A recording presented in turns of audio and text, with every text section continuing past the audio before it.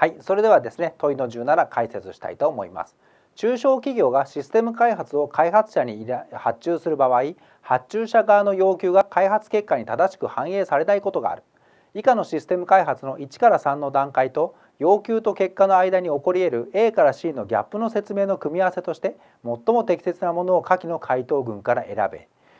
で、まあ、123かの段階がですね、えー、発注者から発注者の要求内容から要件定義を作成する段階要件定義書から外部設計を行う段階外部設計から詳細設計を行う段階この3つの段階があります。そしてこの3つの段階ににある事柄というかですねこの ABC の事柄がその3つの段階のどれに該当するかという説問ですね。そしてこれの答えはですねこれなんですけれどもまずですねこの説問のポイントはですねちょっと戻ると段階がこの123ある。で、えー、必ずしもですね、えー、1この ABC が123にぜ異なるものに割り振られるわけではないということですね。このように221ってなってるね。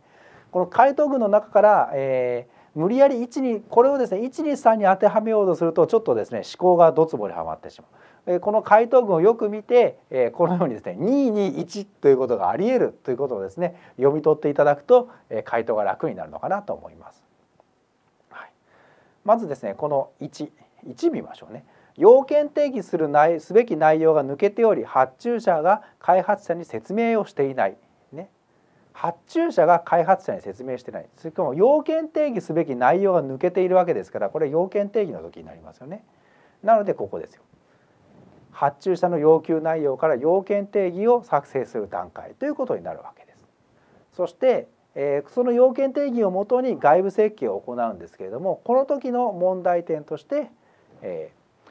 発注者が開発者に説明した要件定義書に盛り込まれた内容が要件定義書に書いてあるんですね。要件定義書に盛り込まれた内容が開発開発側設計の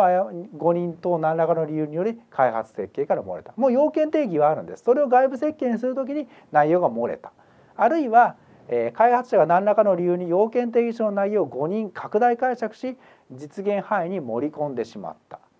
どっちも要件定義をベースにした話ですよね。なので2という形になります。これはさらに外部設計に書いてあることを内部設計にどうのこうのとかですね、えー、ベースとなる文章が外部設計のことだったらそれは3になると思うんですけども今回 A も B もですね要件定義書に書いてあることですよね。なので、えー、この要件定義の段階